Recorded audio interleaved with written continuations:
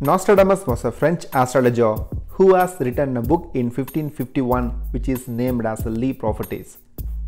In this book, there were many historical events predicted and that became true.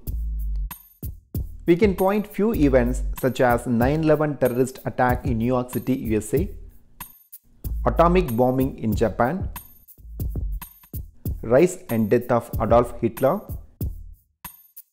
death of Princess Diana.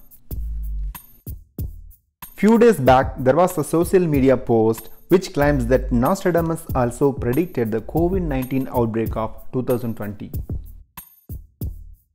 The post says that in 1551, Nostradamus predicted the rise of a virus in a twin year, which is 2020, in the east, which refers to the China, and this would affect the country with the seven hills, that is Italy, and ultimately it's leading to the collapse of the world economy.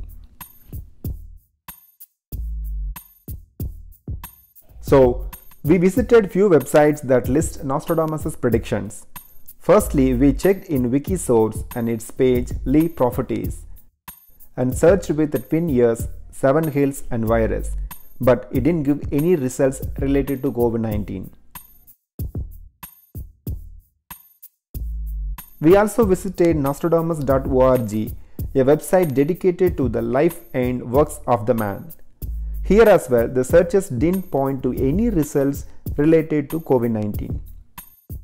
We also found that international fact-checking agency Reuters has already debunked this claim and confirmed that this is a false claim.